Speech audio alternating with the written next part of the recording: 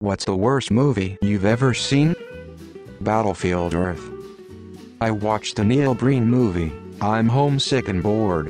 I've watched about everything I've thought looks interesting on Netflix, Hulu, Tubi, etc.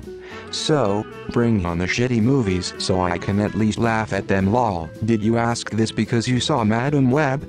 I paid money to see The Last Airbender in theaters. Never left a movie so mad in my fucking life. Troll 2 also happens to be the best, House of the Dead. The Last Airbender. I fell asleep early and walked out halfway on Wonder Woman 1984.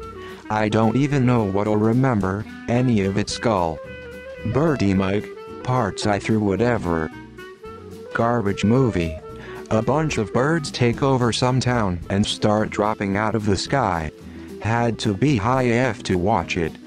Anyone else watch Texas Chainsaw Massacre The Next Generation? That movie is such a mess. It is like a car crash that you can't look away from. The Stupids starring Tom Arnold. Brutal. The Last Airbender, all my siblings and cousins loved the TV show and we hyped up the movie so my mom took all of us to watch it. My littlest cousin cried because it was so bad. How did they mess it up so badly?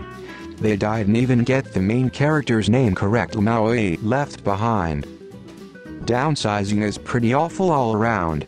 Sharkula, that one where Hulk Hogan is an alien warrior who gets stranded on Earth with a human family. The newest Matrix movie. Jupiter Ascending. The Room. Terrible movie, I fucking loved it.